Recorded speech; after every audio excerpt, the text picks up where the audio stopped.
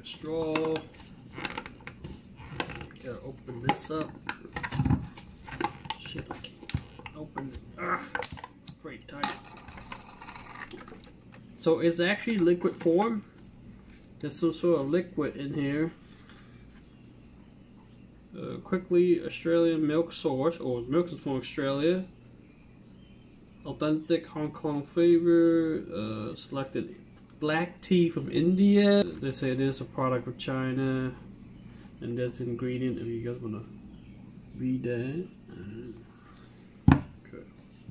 But it's a product of Hong Kong, so it's probably probably inside Hong Kong. They say shake well before enjoy. Please serve with straw.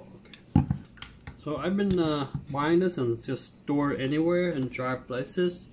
It didn't say anything about uh, put it in, in uh, refrigerator or anything like that. Uh, so here it is. Looks like coffee.